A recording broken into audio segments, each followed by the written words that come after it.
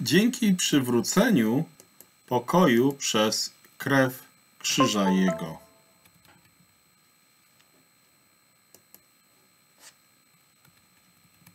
Dzięki przywróceniu pokoju przez krew krzyża Jego.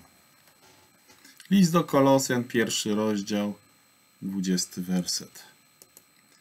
Dlaczego na Golgocie Pan Jezus musiał umrzeć? Miejsce sądu Golgota leżało poza miastem Jerozolimą.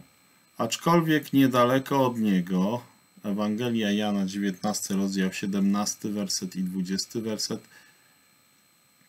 to opisuje. Rzymianie, krzyżując skazańców, mieli na celu wywołać strach wśród ludu. Dlatego takie miejsca jak Golgota znajdowały się blisko głównej drogi wiodącej do miasta, która była stale uczęszczana. O czym czytamy w Mateusza 27 rozdział 39 werset. Słowo Golgota oznacza czaszkę.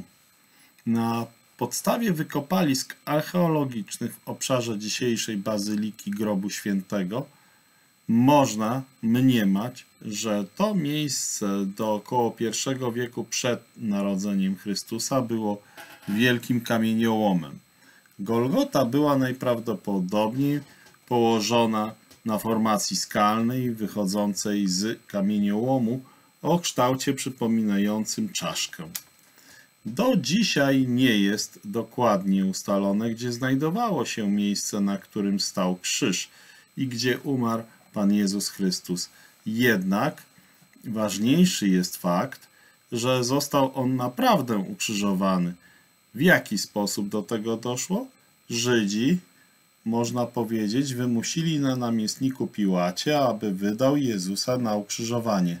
Z braku jakichkolwiek powodów i niedostatecznych dowodów w sprawie oskarżenia Pana Jezusa Chrystusa ostatecznie zaczęli z całej siły krzyczeć: Ukrzyżuj, ukrzyżuj go.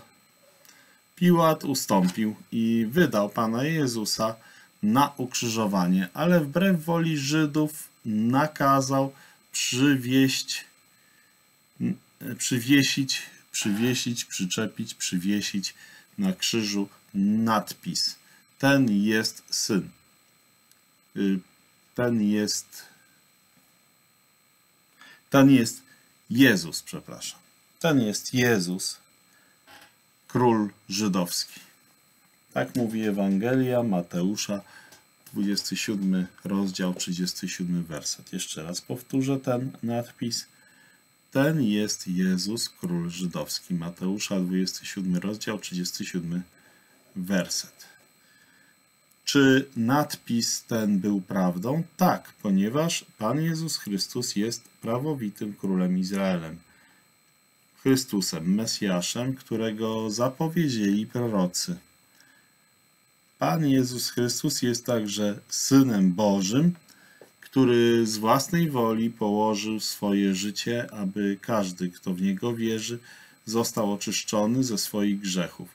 Przez ten krzyż i dzięki ofierze pojednawczej swojego jednorodzonego Syna, Bóg oferuje każdemu bez względu od prawie blisko ale mniej nadal niż 2000, od prawie 2000 lat zbawienie, przebaczenie, pokój i życie wieczne. Dlatego Golgota była właśnie miejscem zagłady Pana Jezusa. Dlatego Golgota.